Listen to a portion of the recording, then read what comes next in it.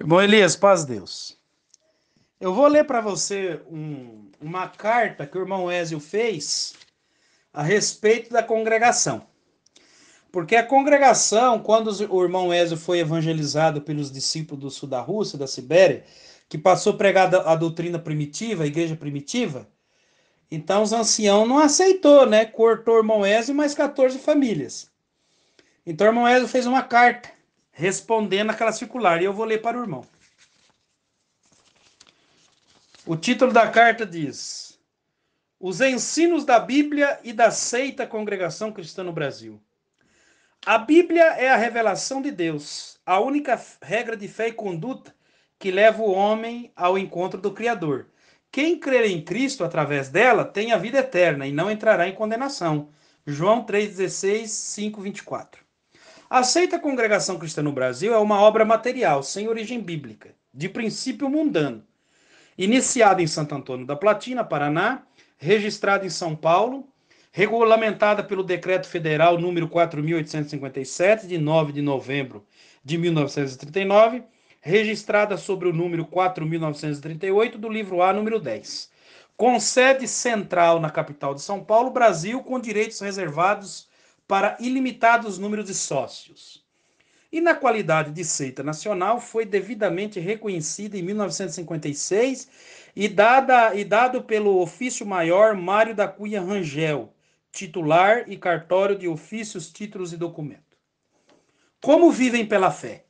Suas bases de fé constituem-se em, em ricos e luxuosos templos, onde vivem milhares de seguidores sem nenhuma conversão, sem nada saberem da razão da fé em Cristo, simplesmente iludidos em contos de milagres inexistentes e de revelações fantasiadas, de adivinhações mentirosas, que dizem eles ser pelo Espírito Santo, porém condenadas pela palavra, Jeremias 23, 25 a 31 e Deuteronômio 18, 9 a 12. Uma seita ambiental. Em termos de ambiente e aparência visual, a seita Congregação Cristã no Brasil é das melhores. Belas músicas, paredes maravilhosamente estucadas, bancos luxuosos e confortáveis que envergonham, que envergonham as pessoas humildes. Luzes fluorescentes com requinte ambiental, proporcionando o conforto e o prazer que ali está. Altares, púlpitos de luxo aos estilos do paganismo, de onde os líderes da seita se arrogam e se investem como profetas, para dali adivinharem o futuro de ignorantes e incautos que naquilo acreditam.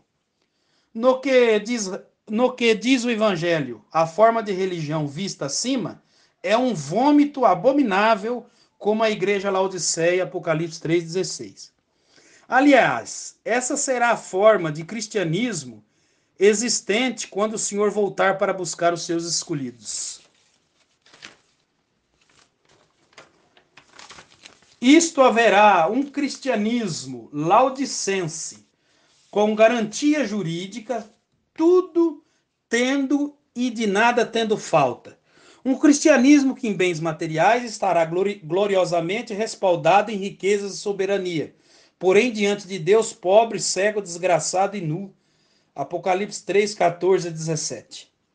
O cristianismo visto acima foi e é e será o cristianismo de Satanás que nos últimos tempos da ira terá sua maior glória, pois só com aparência e bens terrestres o diabo pode apartar as pessoas com mais facilidade da simplicidade que é em Cristo, fazendo-as vítimas de ilusões e orgulho religioso ligadas a um materialismo diabólico. Mateus 4, 8 a 9, 2 Coríntios 11, 2, 4, Tiago 2, 1 a 4 e versos 9 e 10. Noto que o trabalho do diabo é afastar as religiões para mais longe da igreja primitiva, que nada tinha e nada tem, porém possuindo tudo. Apocalipse 2:9, 2 Coríntios 6:10. Esta é a razão de que aceita a congregação no congregação que está no Brasil, como tantas outras, se qualifica a ser uma obra do mundo, reprovada do ensino da Bíblia Sagrada, e muito longe ainda estão da salvação pela fé em Cristo. Por que ainda não são convertidos em Cristo? Primeiro, é que a Bíblia diz que todo aquele que crê em Cristo será salvo e não entrará em condenação. João 3,16 a 18 e 5,2, 44. Já os filiados dessa seita dizem soberbamente que só será salvo quem crer na congregação cristã no Brasil. Veja bem, só será salvo se crer numa seita fundada por um ignorante italiano, Luiz Francisco, em 1910. O Senhor Jesus disse: Sou o caminho, a verdade e a vida. Ninguém vem ao Pai senão por mim. João 14,6. A falta de conversão dos seguidores dessa seita leva eles a dizerem que o caminho para ir ao Pai é a congregação cristã no Brasil. Que tal? Dá até para se pensar em sanatório. A Bíblia diz que só em Cristo a salvação e que não há outro nome pelo qual possamos ser salvos. Atos 4:12 e 1 Timóteo 2:5. Os membros da referida seita, por não serem ainda convertidos em Cristo, dizem que só há salvação na congregação cristã no Brasil. Sendo assim, Coitados dos santos discípulos de Jesus, segundo eles, foram todos perdidos, pois não pertenciam a essa seita. Cristo disse: Quem tem meus mandamentos e os guarda, esse é o que me ama. E aquele que me ama será amado de meu Pai. João 14, 21 a 22. A falta de informação aos membros dessa seita leva eles a dizerem que só será amado do Pai, isto é, de Deus, aqueles que têm os mandamentos da congregação cristã no Brasil, a saber, andar de paletó, usar gravata, raspar a barba três a quatro vezes por semana, cortar o cabelo só no estilo americano, não usar joias de ouro e tantas outras besteiras que a Bíblia não ensina. Que pai de amor barato. A Bíblia diz: Maldito é o homem que confia no homem. Jeremias 17, 5. Já os seguidores da seita Congregação Cristã no Brasil só creem no que o homem diz, mesmo que seja contrário ao, aos mais claros ensinos da Bíblia. Disse Jesus, com referência aos hipócritas: Bem profetizou Isaías a vosso respeito, dizendo: Este povo me honra com os lábios, mas os seus corações estão longe de mim, e em vão me adoram, ensinando doutrinas que são preceito dos homens. Mateus 15, 7 a 9. Jesus disse que aquele que não nascer de novo não pode ver ou entrar no reino de Deus. São João 3,3. Ora, Jesus disse isto referindo-se nascer dele mesmo, pela fé, pois ele mesmo é a fonte de água que lava o pecado e impureza. Zacarias 13, versículo 1. Ele é a fonte de água de onde tiramos a salvação. Isaías 12, 3. Ele é a água espiritual que quem dela nascer, bebendo-a, nunca mais terá sede. João 4, 10 a 14. Ele é o manancial de águas vivas, e quem dela beber, da alma jorrerá um rio espiritual de águas vivas que salta para a vida eterna. João 7, 37 a 39. Em resumo, Jesus é a água espiritual, muito além da água natural que corre nos rios. Ele é a água que quem dela não nascer realmente jamais verá o reino de Deus. João 3,3, Tito 3, 4 a 5 Efésios 5, 26, 1 Pedro 1, 23 e João 1, 13. Os pregadores da seita Congregação Cristã no Brasil dizem que a água, sem a qual ninguém pode ver o reino de Deus, é a água empoçada dentro de uma caixa, tanque, cheia de imundícia, cheia de sujeira humana. E quem dali não nascer não poderá ser salvo. Esta é a legítima doutrina dos crentes glórias, que de Bíblia não, não tem absolutamente nada.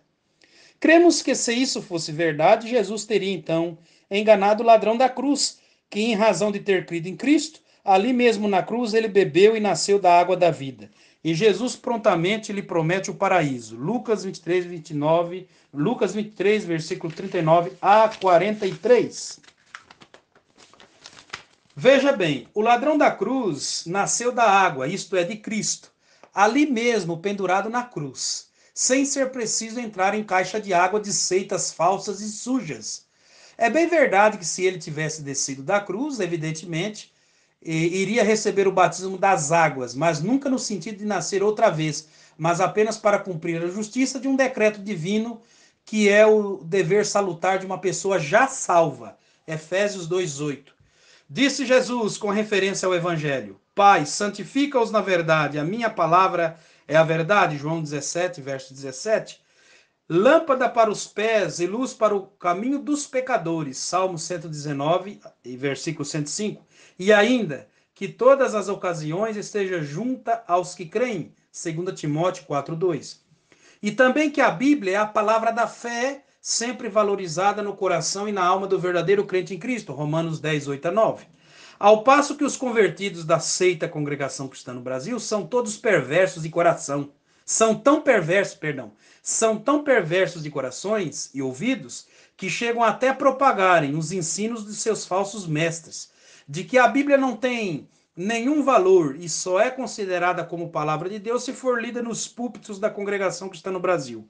Isso faz uma profunda referência a essas miseráveis criaturas, hoje inimigas da verdade, que nos dias das sete pragas que hão de vir sobre o mundo, Apocalipse 3,10, que andarão pela terra duramente oprimidos e famintos, e será que tendo fome e sede, e sede enfurecidos com seus líderes que os enganaram, os amaldiçoarão olhando para cima, como que indica estar impedindo socorro. Isaías 8, 21 a 22.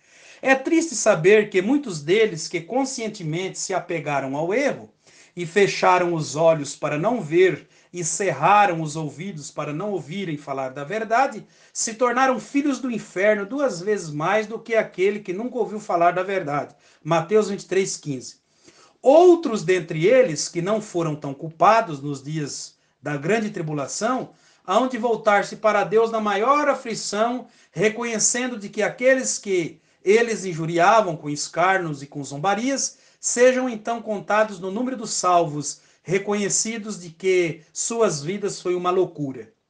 É com referência a essa classe de seguidores caracterizados pela igreja de Laodiceia, vista em Apocalipse 3, 14 a 19, que lemos o texto na íntegra. Eis que eu farei aos, aos da sinagoga de Satanás, que venham e adorem prostrado aos teus pés, e saibam que eu te amo. Apocalipse 3, 9. Um dia os inimigos da verdade, desde aquele que faz oposição por ignorância, até aqueles que são maldosos e malignos, hão de saber que o Senhor ama a verdade e ama com verdade a igreja de Filadélfia, vista profeticamente em Apocalipse 3, 7 a 13. Oésio Pedrosa, Maringá, discípulos de Jesus. Essa foi a carta que ele respondeu a CCB.